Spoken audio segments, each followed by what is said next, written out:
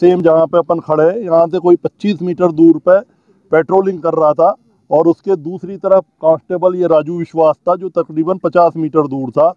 इस head constable ज्ञान सिंह यादव ने फेंसिंग पर कोई मूवमेंट देखा। इसे लगा कि कुछ सामान को इंडिया के अंदर घुसाने की कोशिश की जा रही है तो इसने तुरंत उनको चैलेंज करते हुए फायर करा।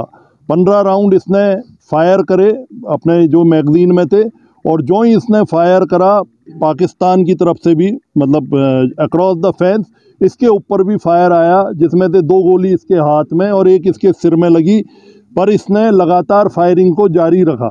इसी फायरिंग की आवाज़ सुन करके जो हमारा दूसरा कांस्टेबल जो मेरे ये बगल में खड़ा है, राजू, ये दौड़ करके आया और इसने सोचा कि हेड कांस्टेबल ने स्मगलर देख के फायर कराया, पर इसे पता नहीं था कि उसके गोली लग चुकी है।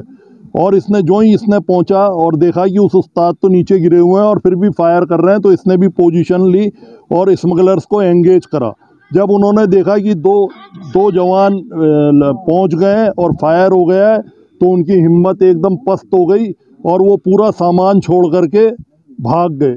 इस सा, इस सामान इस जब यहाँ पे सर्च करी गई तो सैंतालीस पैकेट हेरोइन तो तकरीबन सैंतालीस केजी हेरोइन सात पैकेट अफीम है दो पिस्टल हैं, जिसमें से एक इटालियन मेड है, एक चाइनीज़ मेड है, एक पिस्टल के साथ बयालीस राउंड है, एक के साथ बारह राउंड है, चौहत्तर राउंड गिरे हुए ए के फोर्टी सेवन के सर्च के समय हेड ऑफ़ फेंस मिले। और मैं बताना चाहूँगा कि यहाँ से 200 मीटर आगे आई भी है और उसके आगे रावी नदी शुरू हो जाती है। तो रात के समय ही रावी नदी में नाव से ऐसा लगता है, पाँच से सात जवान, जो स्मगलर्स थे उन्होंने ये बॉर्डर क्रॉस करी और हैवीली आर्म्ड थे और ऐसा लगता है कि बिना किसी और जो पाकिस्तान के जो भी हैं उनके सपोर्ट के बिना ये कार्रवाई नहीं करी जा सकती। सर इधर में कोई इधर भी इधर भी ये तीन आदमी बैठे हुए थे आप देखेंगे तो इनके ये कुर्ते बैठे हैं हमने वो सर्च डॉग लगाए एसएसपी साहब से हमने रिक्वेस्ट करी है पूरी ताकत से पुलिस भी पकड़ने में लगी हुई है। पहले भी इसी जगह पे कोई डेढ़ महीने पहले एक किलोमीटर आगे इस जगह से एक अटेम्प्ट करा था। उस समय भी हमारे बहादुर जवान ने फायर करा था। पर किसी तरह से वो बच करके सामान मतलब नील ले पाए थे और निष्फल कर दिया था। पर इस बार मुझे लगता है सेम ग्रुप ने दोबारा अटेम्प्ट करा और हमारे बहादुर जवान ने उनका निष्फल कर दिया और सारा सामान जो कुछ अनुमान लगा कितने लोग होंगे उधर भी इधर भी?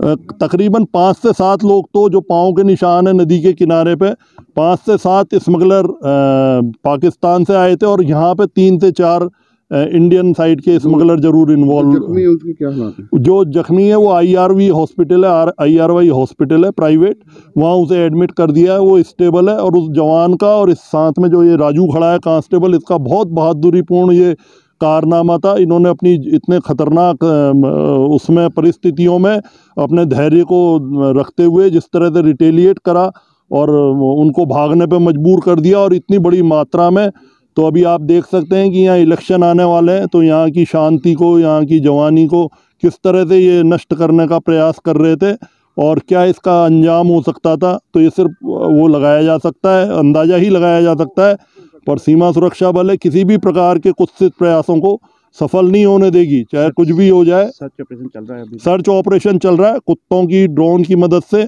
पाकिस्तान से भी कांटेक्ट करा जा रहा है कि भाई आप भी अपने एरिया में सर्च करो और आपके वहाँ से जो लोग आ रहे हैं इनको तुरंत प्रभाव से रोका जाए पता कराया जाए कौन दोषी है।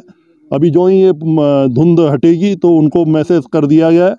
और साढ़े ग्यारह बजे का टाइम दे दिया है फ्लैग मीटिंग का।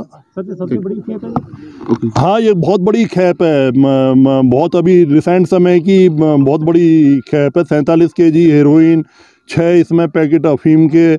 तो बहुत बड़ी है बहुत बड़ी है। आप सम, समझ सकते हैं ये मतलब कोई तीन सौ करोड़ की तकरीबन खैप होगी। प्लस हथियार हैं तो ये क्या और इतना एमिनेशन मिलना चौहत्तर राउंड ए के सैंतालीस के चौवालीस राउंड पिस्टल के बारह राउंड चाइनीज़ मेड पिस्टल के।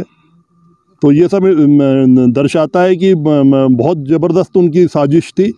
और काफ़ी समय से वो प्रयास कर रहे थे पर ये धुंध का मौसम अभी शुरू हुआ। आज पहला ही दिन था जब इतनी धुंध पड़ी है नहीं तो इतने दिनों से और मौसम ठीक चल रहा था। भारतीय जवानों ने जो फायरिंग की वो पाकिस्तान तस्करों को भी लगी गोली का? पाकिस्तानी तस्करों को ऐसा नहीं लगता वो बच गए क्योंकि आप देख सकते हैं कि नीचे ज़मीन है वो छुप रख मतलब नीचे क्रॉलिंग करते हुए थे तो मुझे नहीं लगता शायद उनको लगी है क्योंकि यदि गिरे लगी होती तो खून गिरा हुआ मिलता या वो कोई उनकी बॉडी मिलती। कांस्टेबल राजू विश्वास राजू जी क्या उस समय माहौल था जब आपको पता चला किस तरीके से आपने मुकाबला किया था? माहौल ऐसा था हम लोग शुरू से घूम रहा था धुंध बहुत था।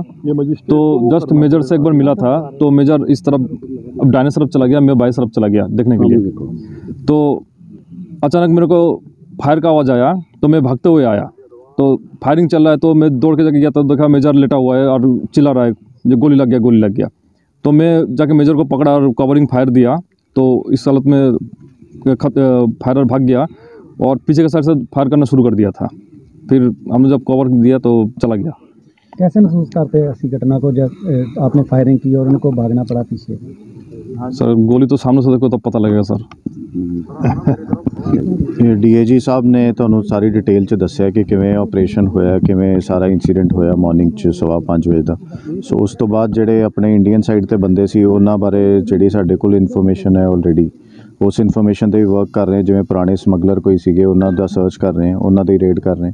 ਜਿਹੜੇ ਕੋਈ ਪੁਰਾਣੀਆਂ ਐਫ ਆਈ ਆਰਸ ਨੇ ਜਿਨ੍ਹਾਂ ਤੇ ਕੋਈ ਮੇਜਰ ਰਿਕਵਰੀਜ਼ ਹੋਈਆਂ ਉਹਨਾਂ ਤੇ ਵਰਕ ਕਰ ਰਹੇ ਐਂਡ ਹੋਪਫੁਲੀ ਅਸੀਂ ਜਲਦੀ ਬੰਦੇ ਫੜ ਲਾਂਗੇ ਜਿਹੜੇ ਇੱਧਰਲੇ ਪਾਸੇ ਇੰਡੀਅਨ ਸਾਈਡ ਤੇ ਆਏ ਸੀ ਜਿਹੜੇ ਪਾਕਿਸਤਾਨ ਸਾਈਡ ਤੇ ਆਏ ਸੀ ਉਹ ਡੀਆਈਜੀ ਸਾਹਿਬ ਨੇ ਦੱਸਿਆ ਕਿ ਤੁਹਾਡੀ 11:30 ਵਜੇ ਅੱਜ ਫਲੈਗ ਮੀਟਿੰਗ ਹੈ ਉਹਦੇ ਵਿੱਚ ਉਹ ਮੁੱਦਾ ਉਠਾਣਗੇ ਉੱਥੇ ਗੱਲ ਵੀ ਕਰਨਗੇ ਤੇ ਜਿਹੜਾ ਇੰਡੀਆ ਵਾਲੇ ਪਾਸੇ ਦੈਟ ਵੀਲ ਟੇਕ ਇਹ ਆਸ-ਪਾਸ ਦੇ ਪਿੰਡਾਂ ਦੀ ਹੋਣਗੇ ਜਿਹੜੇ ਕਹਿਣਾ ਮੁਸ਼ਕਲ ਹੈ ਕਿ ਲਾਗੇ ਦੇ ਪਿੰਡਾਂ ਦੇ ਹੋਣਗੇ ਜਾਂ ਦੂਰ ਦੇ ਹੋਣਗੇ ਬਿਕੋਜ਼ ਸਾਡੇ ਸੈਕੰਡ ਲਾਈਨ ਆਫ ਡਿਫੈਂਸ ਦੇ ਜਿਹੜੇ ਨਾਕੇ ਹੈਗੇ ਉੱਥੇ ਸਾਡੇ ਏਐਨਪੀਆਰ ਕੈਮਰਾਜ਼ ਵੀ ਲੱਗੇ ਹੋਏ ਸੋ ਜੇ ਕੋਈ ਹੋਏ ਤੇ ਗੱਡੀ ਤੇ ਆਇਆ ਹੋਊਗਾ ਤੇ ਉਹਦੇ ਵਿੱਚ ਕਲੀਅਰ ਹੋ ਜਾਏਗਾ।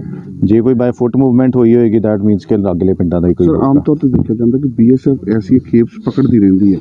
ਲੇਕਿਨ ਕਦੀ ਵੀ ਇਹ ਕੋਸ਼ਿਸ਼ ਨਹੀਂ ਹੋ ਪਾਉਂਦੀ ਕਿ ਜਦੋਂ ਸੈਕੰਡ ਡਿਫੈਂਸ ਲਾਈਨ ਦੀ ਗੱਲ ਆਉਂਦੀ ਆ, ਤੇ ਇਧਰਲੇ ਕੋਰੀਅਰ ਜਿਹੜੇ ਆ ਸਲੀਪਰ ਸੈੱਲ ਆ, ਉਹ ਨਹੀਂ ਰਿਕਵਰ ਹੋ ਪਾਉਂਦੇ ਨਹੀਂ, ਕਾਫੀ ਕੇਸਿਸ ਹੈਗੇ ਜਿਨ੍ਹਾਂ ਵਿੱਚ ਰਿਕਵਰੀ ਹੋਈ ਵੀ ਹੈ ਤੇ ਬਾਅਦ ਚ ਬੰਦੇ ਵੀ ਫੜੇ ਗਏ ਆ। ਜਿਵੇਂ ਅਕਤੂਬਰ ਵਿੱਚ ਅਸੀਂ 8 ਕਿਲੋ ਰਿਕਵਰ ਕੀਤੀ ਸੀ ਉਹਦੇ ਵਿੱਚ ਸਾਡੇ ਕੋਲ ਬੰਦੇ ਟਰੇਸ ਹੋ ਗਏ ਸੀ, ਤਿੰਨ ਬੰਦੇ ਟਰੇਸ ਹੋ ਗਏ ਸੀ, ਉਹਨਾਂ ਤੇ ਐਫ ਆਈ ਆਰ ਵੀ ਹੋਈ ਹੈ, ਔਰ ਅਰੈਸਟ ਵੀ ਪੈ ਗਈ ਉਹ ਚੱਲ ਵੀ ਗਏ ਨੇ ਜੇਲ੍ਹ 'ਚ।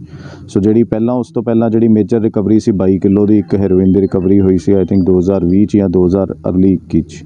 ਉਹਦੇ ਵਿੱਚ ਵੀ ਬੰਦੇ ਅਰੈਸਟ ਹੋਏ ਸੀ, ਉਹਦੇ ਵਿੱਚ ਵੀ ਬੰਦੇ ਜੇਲ੍ਹ 'ਚ ਗਏ ਨੇ, ਉਹਦਾ ਵੀ ਟ੍ਰਾਇਲ ਚੱਲ ਰਿਹਾ। ਸੋ ਇਹਦੇ ਵਿੱਚ ਵੀ ਵੀਲ ਵਰਕ ਔਨ ਇਟ ਅਸੀਂ ਇਹਦੇ 'ਚ ਵੀ ਜਲਦੀ ਬੰਦੇ ਫੜਾਂਗੇ।